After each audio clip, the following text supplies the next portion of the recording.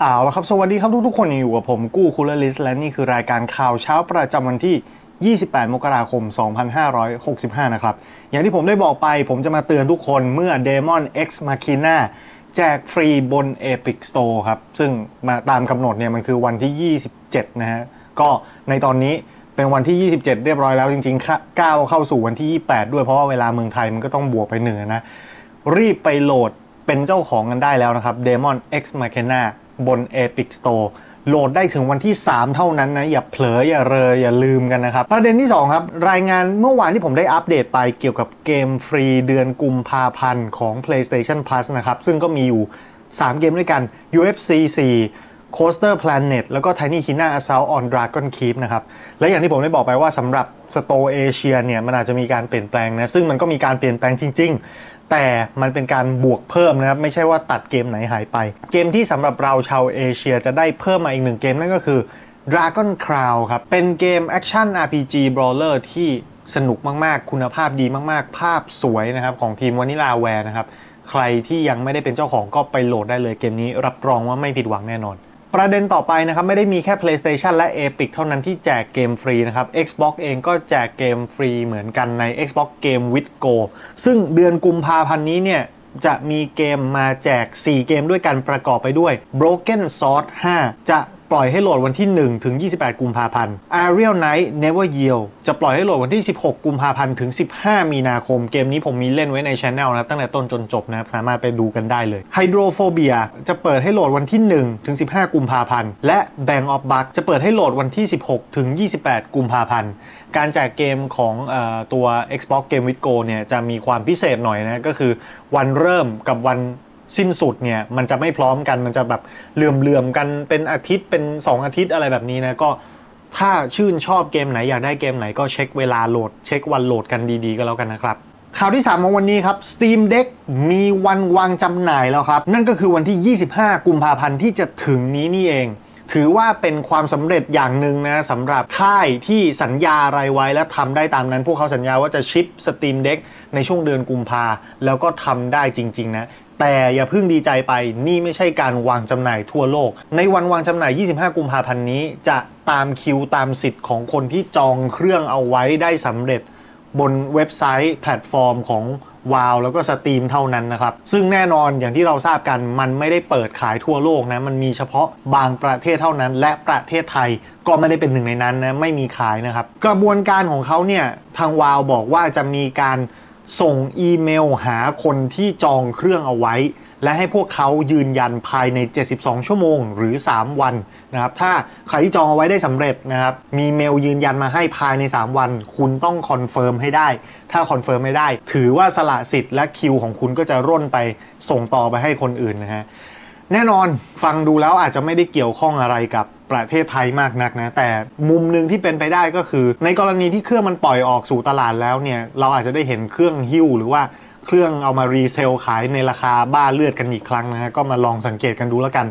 ว่าเรื่องราวของ Steam Deck ในด้านนี้เนี่ยมันจะเป็นยังไง แต่จุดหนึ่งที่น่าสนใจกว่าแน่ ๆ ก็คือพวกเกี่ยวกับการทดสอบรีวิวทดสอบด้าน performance อะไรต่างๆ เนี่ย ก็มี embargo ซึ่งจะปล่อยในวันที่ 25 กุมภาเช่นเดียวกันครับ สื่อเจ้าใหญ่อย่างพวก IGN Game Sport Digital Foundry น่าจะได้ปล่อยข้อมูลมาให้เราได้เห็นกันมากขึ้น และก็น่าจะทำให้หลาย ๆ คนที่สนใจ มองเห็นภาพชัดว่าจะลงทุนกับเครื่องดีไหมมากขึ้นด้วยครับ ข่าวใหญ่ที่สุดของวันนี้ยกให้เป็นของ Capcom ครับ เพราะว่าเมื่อไม่กี่วันมานี้มีการเปิดเผยข้อมูลล่าสุดจากรายงานผู้ถือหุ้นนะครับว่าพวกเขาประสบความสำเร็จด้านเพิ่มยอดขายนะแล้วก็กำไรในช่วง ปี 2021 ที่ผ่านมา มูลค่าการขายโดยสินค้าและบริการทั้งหมดนะครับอยู่ที่ประมาณ 88,000 ล้านเยนนะครับ เพิ่มขึ้นจากปีที่แล้ว 35.9%กำไรอยู่ที่ 35,000 ล้านเยน เพิ่มขึ้นจากปีที่แล้ว 43.9%โอ้เพิ่มขึ้นสูงมาก ๆ นะ ทั้ง ตัวยอดขายแล้วก็กำไร ซึ่งจากตัวเลขตัวนี้เนี่ยทำให้พวกเขามีสถิติยอดขายเพิ่มขึ้นเป็นเวลา 9 ปีต่อเนื่องกันแล้วนะครับ และจากช่วงเวลา 9 ปีนี้เนี่ย5ปีหลังพวกเขายังทำลายสถิติของตัวเองมาโดยตลอดด้วยครับ โดยเกมที่มีส่วนสำคัญในการต่อยอดความสำเร็จนี้ของ Capcom ก็คือ Resident Evil Village Monster Hunter Rise แล้วก็ Monster Hunter Story 2 นะ ซึ่งถ้าใครไปดูตารางเกมวางจำหน่ายปีที่แล้วของ Capcom เนี่ย พวกเขาออกเกมไม่เยอะนะครับ แต่ว่ายอดขายก็ทำได้สูงมาก อย่างที่ผมแจ้งไปว่ายกประโยชน์ให้กับพระเอก 3 คนนี้ Resident Evil Village Monster Hunter Rise แล้วก็ Monster Hunter Story 2 แต่แม้แต่ Resident Evil 7 นะ เกมที่วางขายตั้งแต่ปี 2017 ในช่วงปี 2021 ที่ผ่านมานี้ ก็ยังทำยอดขายไปได้อีกถึง 1 ล้านชุดครับทำให้ในตอนนี้ Resident Evil 7 มียอดขายรวมทั้งสิ้น 10 ล้านก๊อปปี้แล้วทีเดียวครับ โอ้โห ถือว่าเป็นความสำเร็จที่น่าชื่นชมยินดีมาก ๆสำหรับ Capcom นะ ยอดขายเกมของ Capcom เนี่ยเพิ่มขึ้นจากปีก่อน 30%แล้วก็ยอดขายรวมเกมทั้งหมดนะครับ สูงถึง 25.8 ล้านชุด อีกทั้งธุรกิจมือถือ และธุรกิจเกมตู้อาร์เคด ก็ทำกำไรต่อเนื่องและเริ่มจะฟื้นตัวจากสภาวะโควิดแล้วด้วยครับ แต่สิ่งที่น่าสนใจที่สุดในรายงานของ Capcom ฉบับนี้นะครับ อยู่ที่โน้ตเล็กๆ ที่ทางบริษัทโน้ตเอาไว้ว่า Capcom สังเกตเห็นว่า การที่พวกเขาประสบความสำเร็จบนเวทีประกาศรางวัลต่างๆทำให้ยอดขายของบริษัทดีขึ้น และตัวบริษัทก็เป็นที่รู้จักมากขึ้นครับ ซึ่งมันทำให้พวกเขา ตั้งใจที่จะสารต่อนโยบายนี้ก็คือ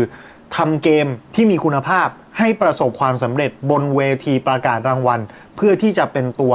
โฆษณาประชาสัมพันธ์ แล้วก็เพิ่มยอดขายให้กับทางบริษัท ซึ่งมันเหมือนจะเป็นเรื่องง่ายมาก ๆ แต่ค่ายเกมหลาย ๆ ค่ายก็ไม่ได้มองเห็นจุดนี้นะ พวกเขาก็อาจจะไปตามหาบ่อทองบ่อใหม่บ่อน้ำมันบ่อใหม่ ไม่ว่าจะเป็น NFT หรือว่าเป็น live service อะไรต่างๆนะจนกระทั่งลืมว่าจริง ๆ แล้ว basic ของมันก็ง่ายนิดเดียว คุณเป็นบริษัทที่มีชื่อเสียงอยู่แล้ว